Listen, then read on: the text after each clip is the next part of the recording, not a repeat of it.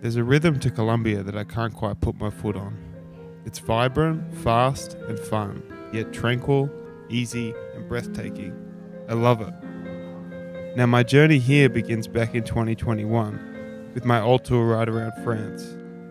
Before I kicked off that ride, I thought we could use some of the attention to raise some funds for World Bicycle Relief. And well, the response kind of blew my mind. As I wrapped up that ride and tried to wrap my head around the incredible support from you all, I became curious as to where the bikes would end up, which is why I find myself in Colombia.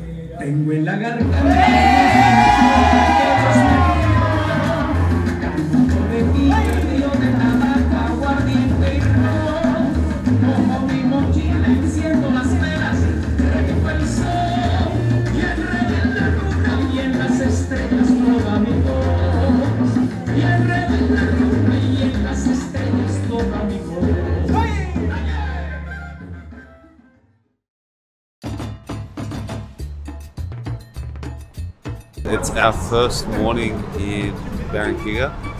It's about 6.30 and we're going for a bike ride. Uh, unfortunately, my bike didn't make it on the plane, um, but luckily we have bikes here and I'm on the Buffalo bike today, uh, which I'm actually excited about. One tool fix the whole bike. What a dream.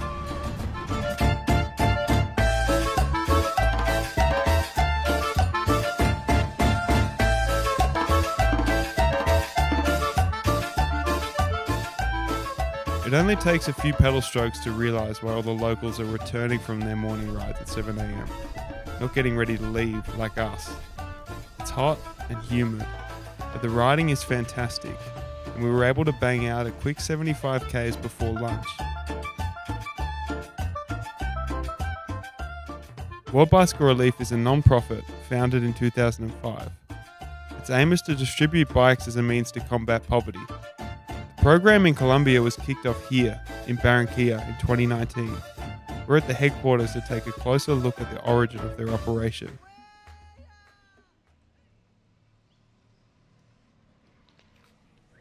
We just had a bit of lunch and now we've come down to the uh, assembly plant. So this is basically the hub of all um, the, the World Bicycle Relief activities in Colombia.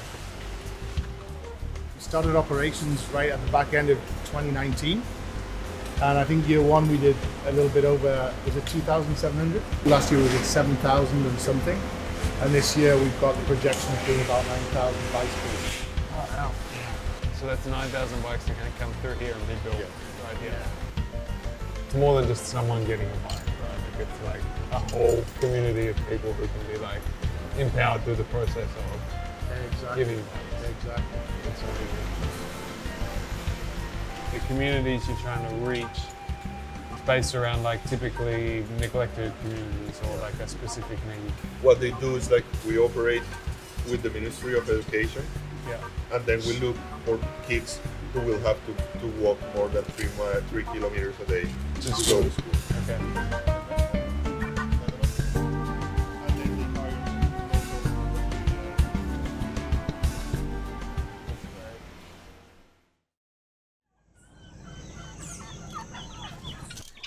We're at the house of uh, Valerie, who's the little girl who's going to be receiving a bike today. And we got out here early enough so we can follow her on her walk to school.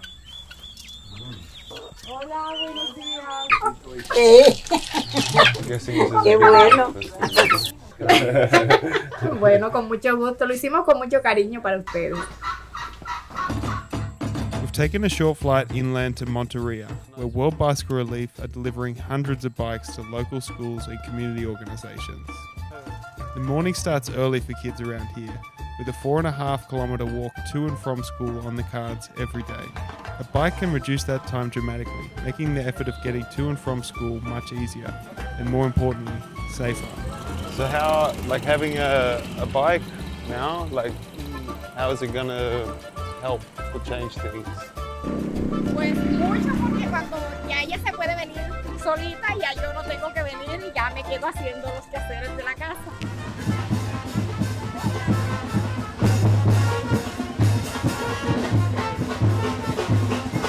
Yeah, we've got like, I think 205 bikes.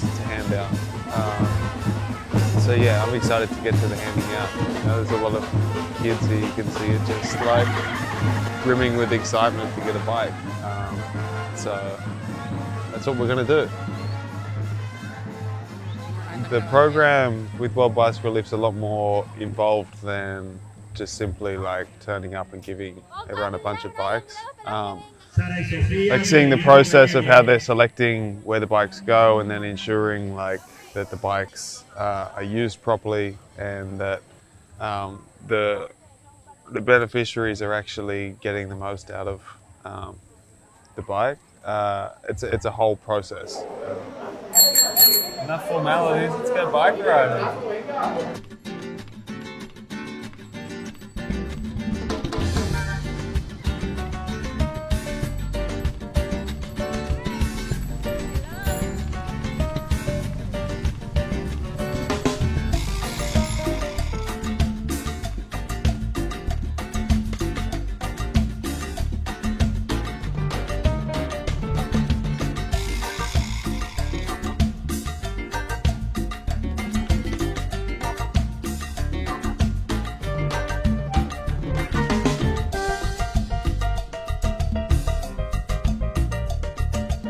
What are the biggest challenges the kids attending this school face generally?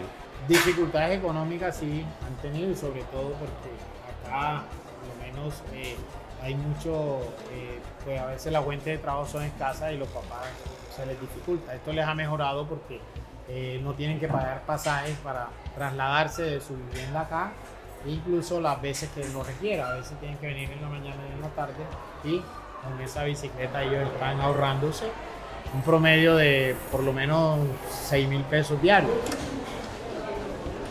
Is it nice to have a bike for fun, for independence? Sí, me gusta mucho venir en bicicleta y también ir a montar a, a la ciclovía con mis amigos. And have you noticed a, a general change in the community just with having more bikes around?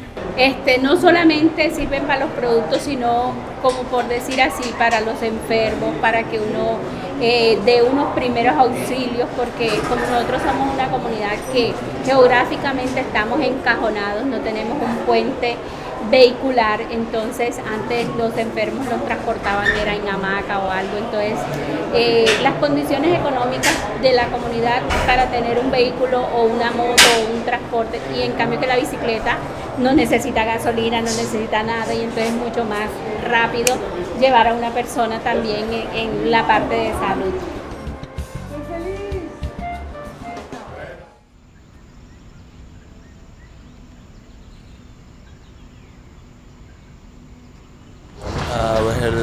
Bike ride. We're going to ride over to the next bike handout. Um, we've got a bunch of local kids to take me.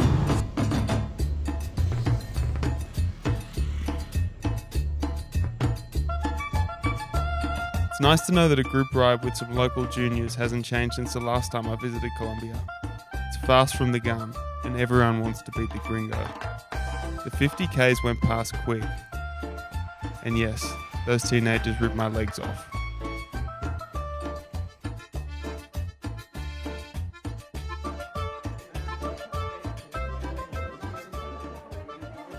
Today we're in a different part of the region surrounding Monteria, and we're here to distribute another couple of hundred bikes to local girls and women.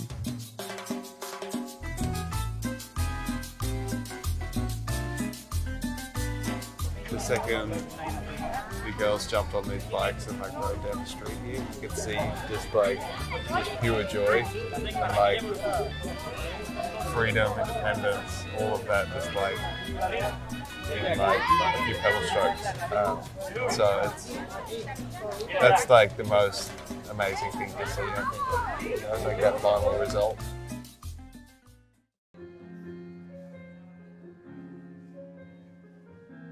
My time here in Colombia has been really eye opening. The people, the culture, and the riding are invigorating. I feel at home here.